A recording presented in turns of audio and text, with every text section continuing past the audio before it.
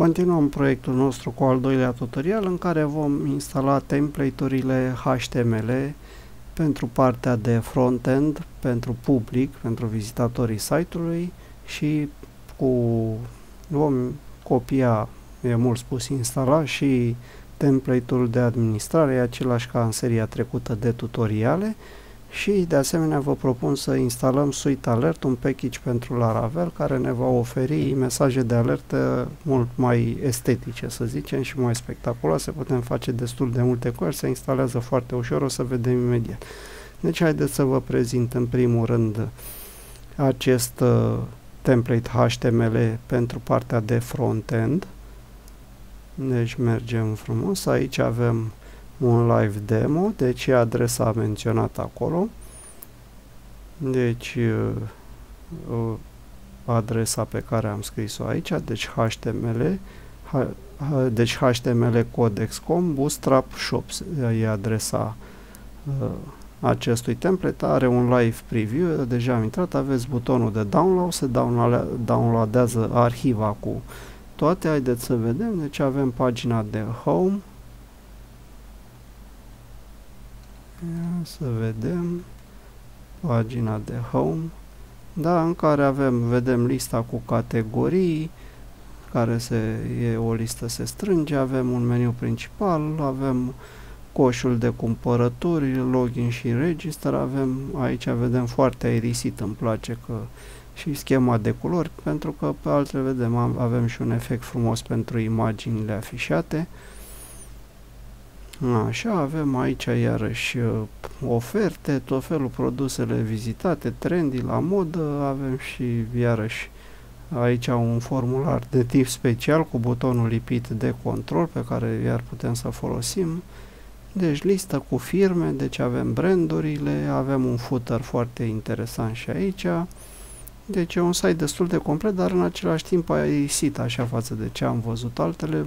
Mi-a plăcut mai ales pentru un tutorial. Vedem că aici putem să-l vedem cum se vede și pe mobil sau pe tabletă, pe un mobil mai mic, ia uitați din ce în ce mai mic, pe un laptop și pe desktop, da? Deci avem, puteți să-l vizualizați, bineînțeles, puteți să vă alegeți alt template, pe acest site sunt uh, destule template-uri, unele gratuite, altele pe bani, dar eu zic că pentru scopul tutorialului nostru e foarte bun.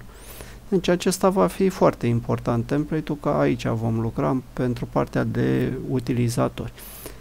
Deci se descarcă arhiva, pe calculatorul descărcați, la fel și pentru SB admin, deci asta este cel pe care l-am mai folosit. Avem și aici un live preview, da, deci uh, live preview, avem tot felul de layout-uri, de uh,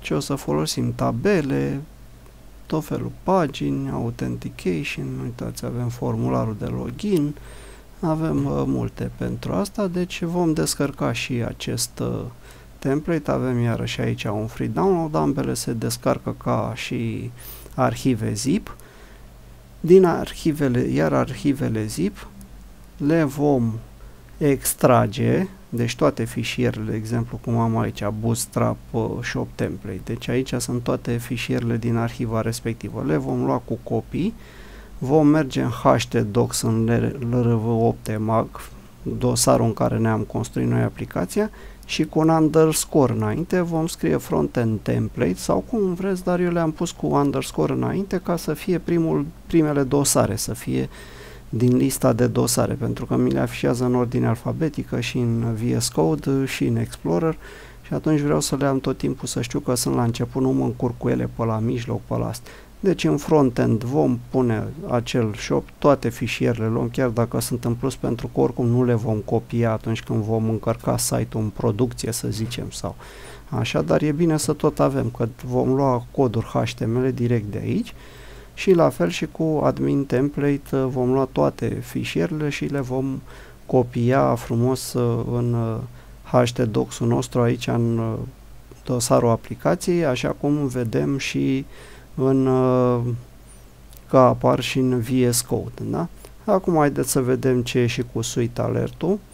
Deci Suite Alert-ul, dacă dați pe prima pagină, vă arată deja aici cam ce face. Deci aceste uh, casete modale, ferestre modale, să le zic așa, foarte animate și cu diverse mesaje. Deci putem să validăm anumite lucruri, să confirmăm utilizatorului că o anumită operație a avut loc cu succes și așa mai departe, într-un mod mai estetic și e foarte ușor. Vedeți aici aveți instalarea, deci se vom lua această linie cu copii și vom, o vom băga în linia de comandă, o vom rula aici, da? deci în linia de comandă în VS Code, în aplicația noastră se va rula, nu durează foarte mult,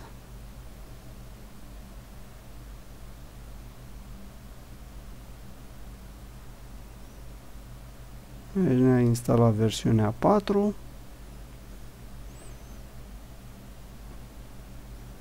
iar apoi după ce am instalat The Suite Alert va trebui să înregistrăm uh, uh, service provider-ul. Deci vom lua această clasă, această instrucțiune. Putem are și un buton aici cu copy to clipboard și bineînțeles vom merge în app service provider. Deci în app providers app service provider și trebuie să vedem uh, unde sunt uh, unde este lista noastră cu provideri. Deci uh, ne vom uita în uh, documentație și vom da deci în config app PHP deci aici trebuie înregistrat providerul. Și da? Deci mergem frumos în uh, config și app și aici avem uh, lista cu providerii undeva trebuie să fie dăm mai jos providers, uitați lista cu providerii.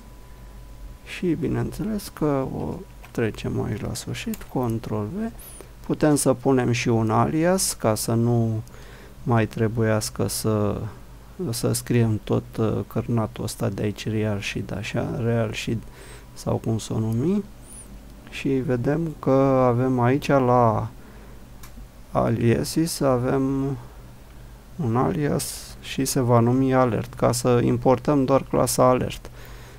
Adică putem să folosim use alert direct, să nu mai scriem tot asta. Da, și atunci intrăm aici, vedem la aliases, așa, deci aici vom folosi alert. Salvăm frumos și cam uh, așa asta este. S-a instalat și uh, mai avem, nu mai avem nimic vom, vom reveni aici în momentul în care vom folosi aceste alerte pentru diverse validări, confirmări, cum v-am mai spus. Deci, deocamdată, cam uh, aceasta a fost uh, copierea fișierelor uh, neapărat deci fișierelor care ne interesează pentru template-uri. Deci SB admin și acest e-shopper de la HTML Codex de aici, dacă dați e shopper ar trebui să ni-l găsească, deci HTML codex sau mai multe now results, haide să-i dăm shopper poate așa ne-l găsește, dacă nu, da, l-a găsit, deci shopper deci era într-un cuvânt în categoria e-commerce e Bootstrap, aici vă mai dă niște detalii despre el, deci folosește Bootstrap 4, folosește Google Web Font, fontă OSM 5, Așa și cam asta ar fi, deci pentru acest tutorial uh, e de ajuns. Din episodul, uh, din tutorialul următor începem să implementăm acest e-shopper ca pagină de start, pentru că la ora actuală, după cum uh, știm, deci dacă dăm acum emag test, pentru că avem serverul virtual, avem acest, această pagină standard din Laravel și noi vom vrea deci din uh, tutorialul următor să implementăm atunci când intrăm pe pagina principală să avem pagina de home de aici, din uh, live preview. Deci cam aceasta să o avem. Deci uh, cam asta o vrem să o avem aici.